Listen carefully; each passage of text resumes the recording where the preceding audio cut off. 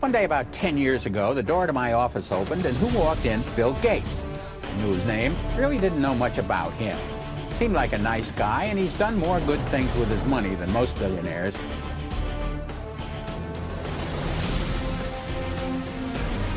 Hello. I'm Michael.